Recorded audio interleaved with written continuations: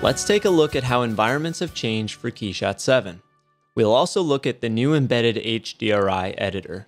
Only available to KeyShot Pro users, the HDRI editor allows you to create custom image-based lighting to present your products and scenes in the best light.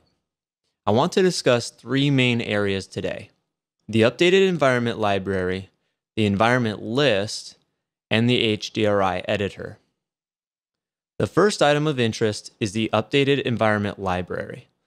All KeyShot Studio environments have been rebuilt procedurally, meaning each pin as well as the environment background can be individually customized and edited to meet your needs.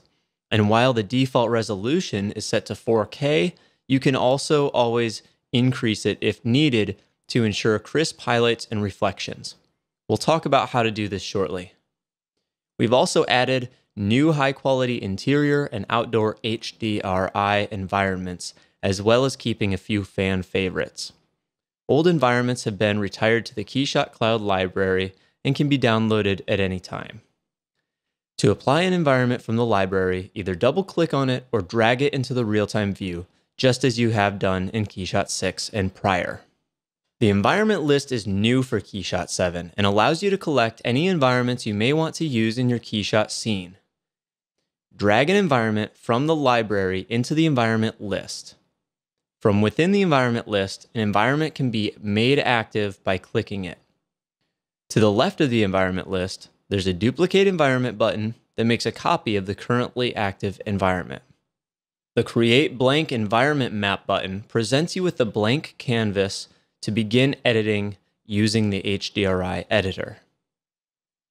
Below the environment preview, lies the HDRI editor, a Keyshot Pro feature.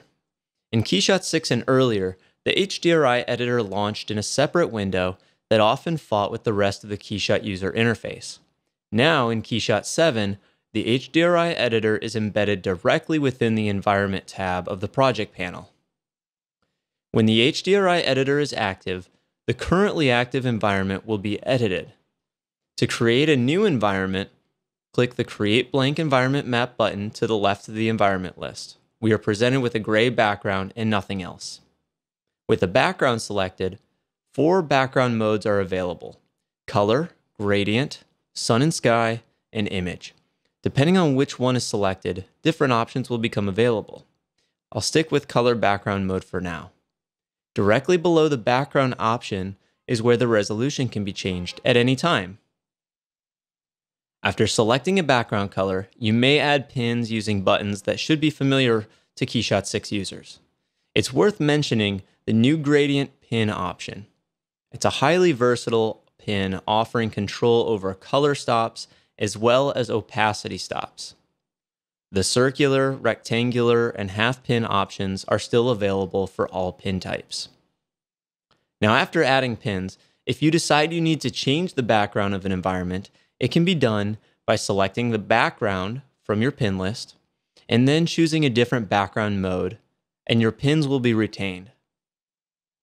While you continue to create new or existing environments, your changes will be saved.